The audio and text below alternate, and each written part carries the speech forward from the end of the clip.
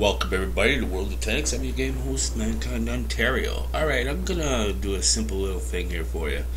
It's called setting your high definition when you're watching any of the games on World of Tanks.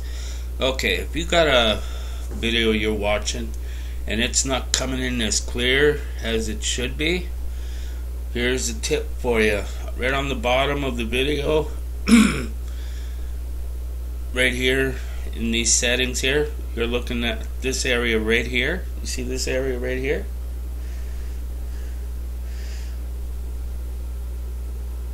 This one right here. That's your high definition setting bar.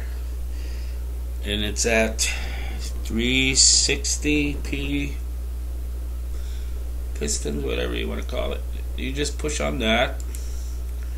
The regular setting for a high definition video on World of Tanks, what I do, what I play, would be at 720.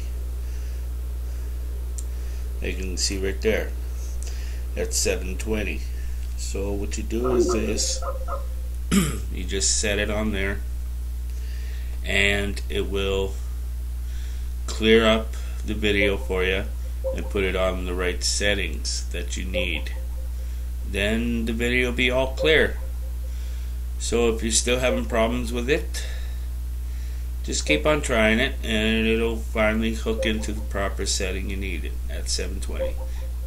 Just work at it. It could be not it could be not 720, it could be others, but on uh, Bundy bandicam.com my settings are at 720 for that program. So that's a little tip from me to you. So if you've got any questions or comments, just feel free to leave one. I really appreciate it. Anyways, that's it. All right.